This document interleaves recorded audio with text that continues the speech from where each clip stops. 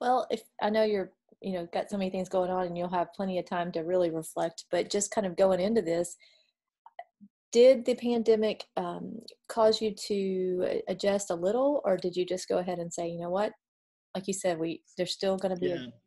No, it really didn't. Uh, uh, you know, we obviously we've been thinking about this, praying about this for a very long time. Uh, well, really about 23 years. You know, I was uh, I was kind of ready. I was kind of ready for this almost as soon as I got started at Ouachita. Uh, and so uh, this has been a long time uh, coming, and I have felt for a long time that I um, I didn't want to wait too long. Uh, you know, for leaders who have served uh, uh, for with institutions for for many years, uh, we're always conscious uh, of wanting to leave a little bit before it's actually time, uh, rather than waiting too long.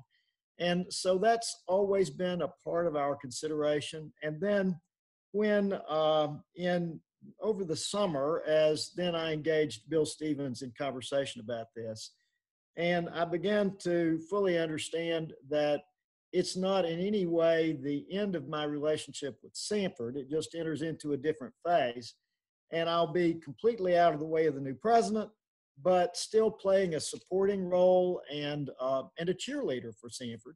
Uh, as I fully began to understand that it would, could work that way, then all the rest of the pieces fell into shape. And as friends have told me who have uh, retired, uh, so many have said, you know, when when you really get to that point, you're going to be surprised uh, how you have the complete sense of peace about it.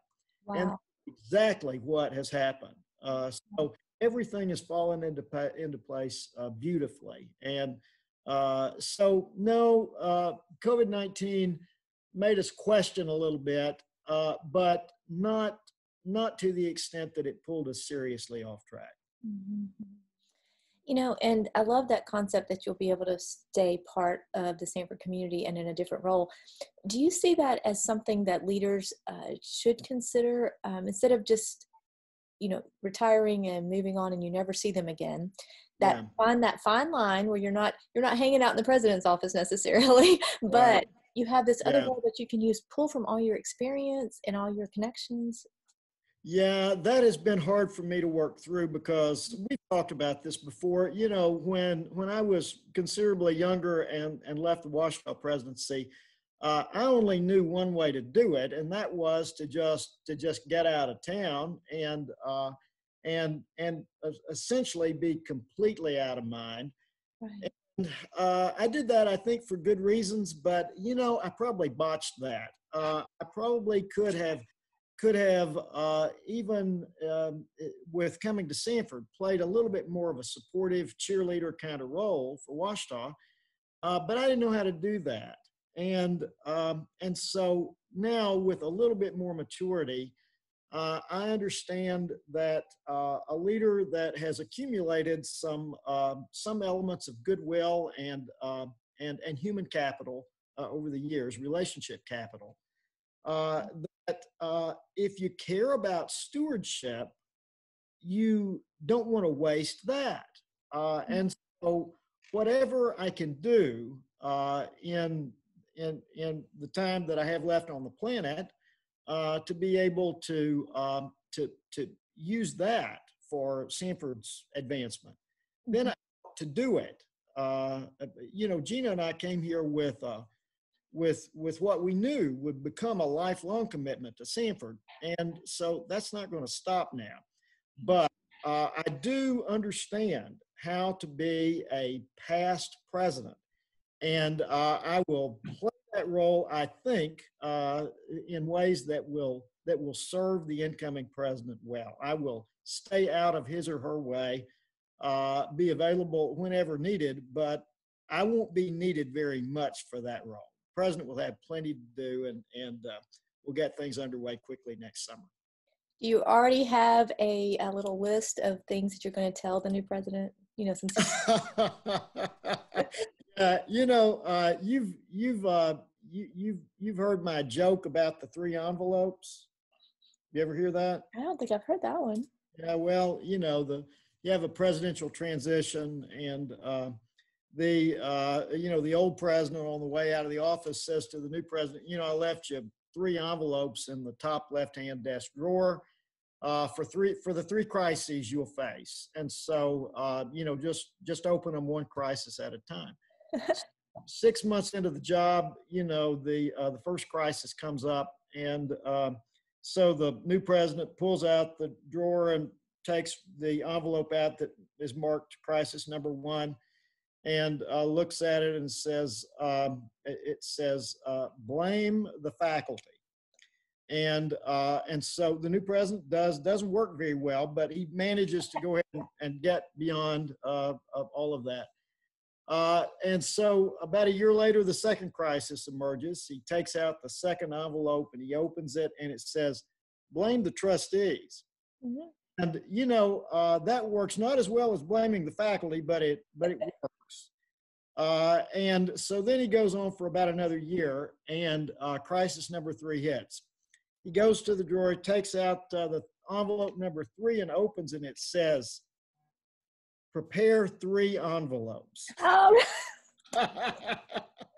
so there you go. You know, uh, so yeah, I guess I guess I'll leave three envelopes uh, in the drawer here, um, and I will also leave uh, the set of keys that Tom Corts gave me. Uh, you know, um, when when I came in in 06, uh, they gave me two shiny keys. I mean, brand new keys that they'd made for front door Samford Hall and for my office. And so I used them that morning early to come in, and I got to the desk, and on my desk, Tom had left a beautiful handwritten note and his two old keys. So uh, very quickly, I gave my shiny keys back to facilities, and I put the old keys on my chain. And uh, so that's what I've used uh, all these years. So I'll turn those over. They're perfectly good keys no no need uh, to waste money on preparing new keys. So I'll do that along with a nice note and maybe three envelopes. I love it. Well, I don't think I've seen you use those envelopes during your tenure. um, so I, I, love that joke. What would you say though, uh, as being all the years you've been college president, both colleges, what would be um, the best memory, the best piece of being a college president? What what would you take? What will you take home with you as your very best? Well, two things. Uh, uh, one is, uh, I mean, it sounds like a Sunday school answer, but I mean it it it's it's right. I think for any college president who really enjoys student contact, and it is the student contact. Uh, you know. Um, uh, students are entirely willing to get to know you and talk with you if you just you know stay with them a little bit. Mm-hmm. and so uh, i have really i have really enjoyed that and i've never felt that my student contact was diminished in any way by being president so that's that's number one but but close behind it is um, uh, I, I think the thing that i will treasure the most is hiring wonderful people uh, mm-hmm. wonderful, God honoring people at both institutions, and then trying to do my best to encourage them to succeed. Uh, but but those two things, um, uh, really developing the student relationships, and then uh, the the joy of hiring wonderful people. Mm-hmm. So, well, on the other side of that, what has been the hardest part of being a college president? Well, uh, it's almost always got something to do with money. Uh, and uh, it is, uh, I think, um, especially um, over these last um, uh, 14 years at Samford, uh, continuing to develop a, a, workable business model for, for a university, especially a university that flies under the banner of Christ in the midst of, of constant change. Mm-hmm. And uh, nothing stays stuck for long mm. uh, in this environment. And so finding that business model and adapting it all the time to make it work financially uh, is, is a continuing challenge. Mm-hmm. I can imagine. I can imagine.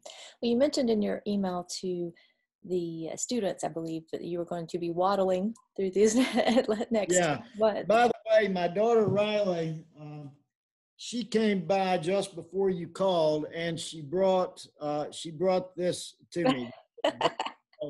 yeah, yeah, going to be waddling for a while. Fantastic. So, what does waddling look like for Andy Westmoreland? Well, uh, first, uh, not first, uh, at some point uh, over the next 10 months, I've got to sort through hundreds of thousands of email messages to determine what goes into the Samford archive from my administration. And wow. forward to that. And so that may actually extend a little bit more into retirement so that I can get all of that cleaned up. So if accidentally they all got deleted, oops, I mean, right? you couldn't help that, right? Oh, how did that happen? Yeah. yeah, that's uh, that's right. Uh, so that is, I, I, do not look forward to that. Uh, we've got uh, there's there's been something that you may not have heard much about. It's called COVID nineteen, and, uh, and and and it has played havoc with uh, the reopening of um, of colleges and universities and keeping them in session uh, with in-person instruction. Yeah, uh, it's. Uh, aren't you glad had this this conversation? I've got to do a breaking news story. Hold on.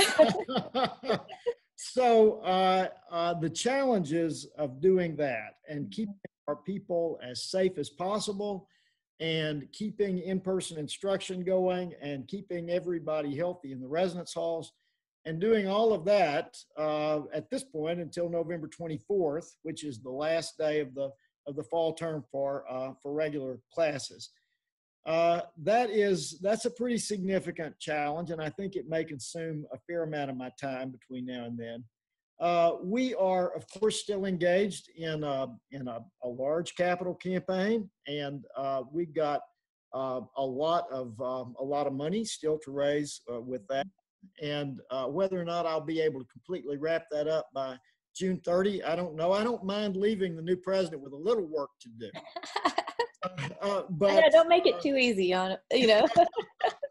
there's there's all of that, and then um, the the other more routine things that you just do uh, day in and day out as as president. Uh, I I've got to um, ensure that we end this year in the black and uh, that uh, that's that's a challenge in the current environment. But uh, then uh, Gina and I really do want to find the ways uh, over the next ten months of um, of telling these people who have loved us so much. Uh, despite my flaws, how much we love them and how much we treasure them, and uh, and a whole lot of people way beyond this campus. Uh, you know, there are those times in your life that um, that the the marker is there, and you know um, this is the time that that I've got to let people know those things. And so I am now entering into that era of my life.